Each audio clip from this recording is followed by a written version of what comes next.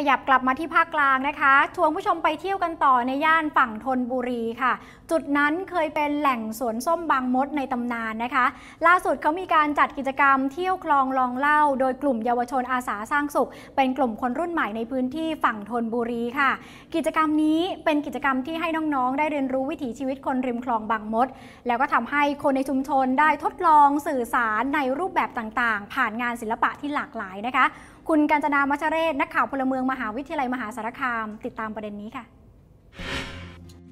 ผลงานภาพถ่ายและภาพเขียนสีระบายน้ำเหล่านี้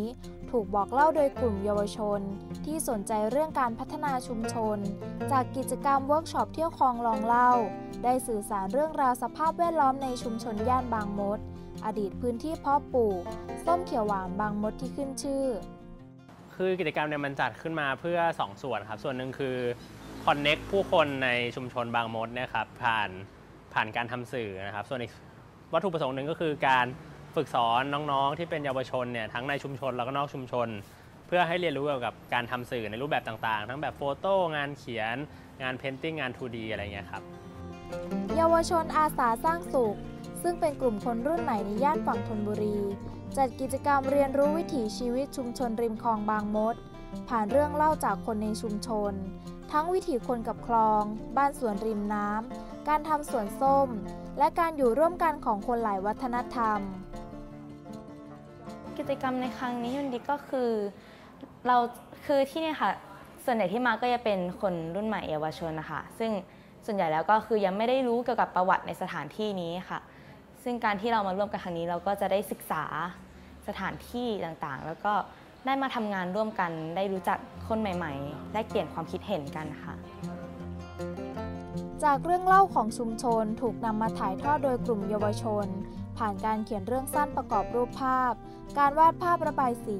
และการถ่ายภาพเล่าเรื่อง สะท้อนวิถีชีวิตดั้งเดิมของผู้คนย่านฝั่งธนบุรี เพื่อให้ผู้ที่มาเยือนได้ศึกษา ก็คืออย่างแรกเลยคือการ research อะค่ะเรารู้สึกว่ากระบวนการ research อะค่ะ นอกจากตัวน้องๆจะได้ความรู้แล้วอะค่ะ อย่างตัวคนที่อยู่ในพื้นที่คนที่มาเล่าเรื่องเองเขาก็ได้ recall ว่าจริงๆแล้วในพื้นที่เขามีอะไรบ้าง ประวัติศาสตร์มีอะไรบ้างเหมือนได้ทบทวนว่าแบบว่า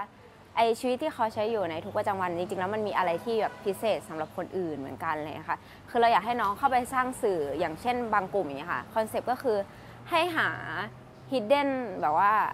อะไรบางอย่างที่มันดูธรรมดาในนั้น แต่ว่าจริงๆแล้วมันดูพิเศษสำหรับคนที่เข้ามาใหม่ค่ะเพื่อที่คนในพื้นที่ได้เข้ามาดูแล้วจะได้โอ้แบบสิ่งนี้มันดูน่าสนใจดีนะ เราเห็นกันมาทุกวันเลย แต่ว่าทำไมมันถึงน่าสนใจสำหรับคนอื่นอะไรอย่างเงี้ยค่ะการขับเคลื่อนการพัฒนาชุมชน จากกลุ่มคนรุ่นใหม่ในย่านฝั่งธนบุรี ที่ใช้สื่อเพื่อการเรียนรู้ เป็นตัวกลางเชื่อมระหว่างคนในชุมชน และสามารถสื่อสารกับคนในสังคมได้หลากหลายระดับ